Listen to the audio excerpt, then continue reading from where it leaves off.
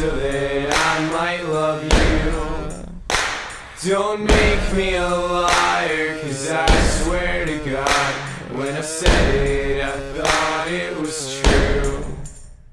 St. Calvin told me not to worry about you, but he's got his own things to deal with. There's really just one thing that we have in common. Neither of us will be missed.